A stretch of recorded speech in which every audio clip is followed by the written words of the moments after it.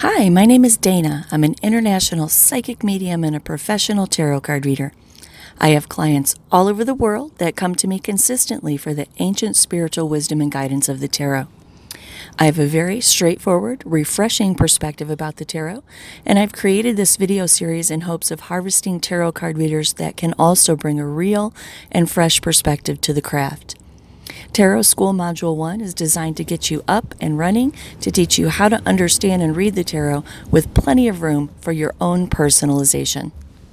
Hey everyone, it's Dana with Deep Thoughts with Dana, and welcome to Tarot School. I am super proud that you have decided to explore your psychic abilities through the tarot. The tarot has changed my life, and I guarantee you, buckle up, because by the time you're finished with this series and you understand inside and out what the tarot is about, it too will change your life as well.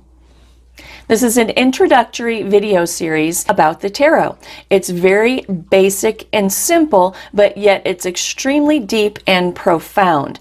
What I'm focusing on in this in this tarot school video series is getting you to internalize the meanings of the cards, okay? It's the absolute most important thing that you can do as a tarot card reader is is make these cards part of the fiber of who you are, okay?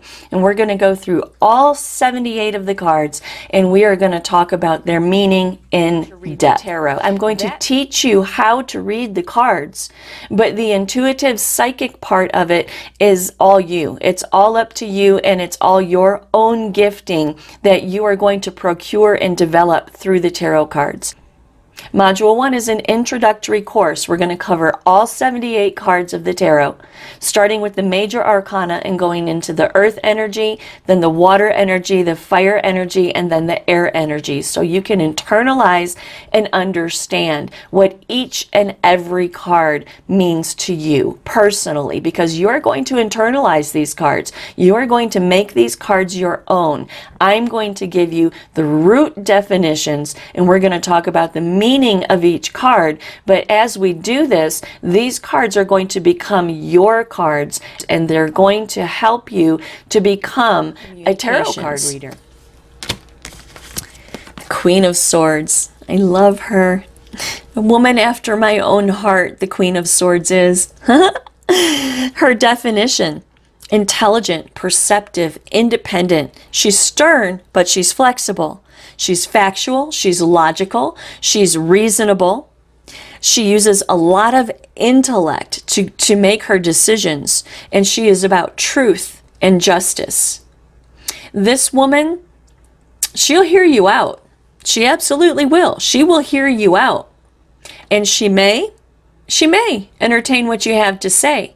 But don't be surprised if she cuts you off at the knees and turns around and walks away. Don't be surprised if what you have to say to this Queen of Swords falls on deaf ears and she turns on her heels and walks away.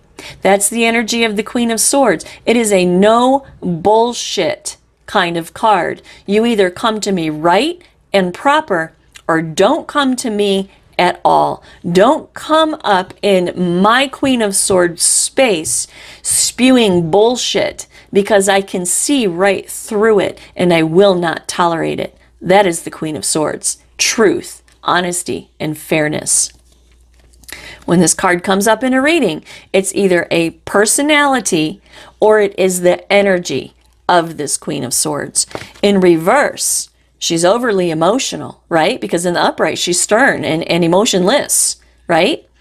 Um, she's overly emotional. She can be really bitchy.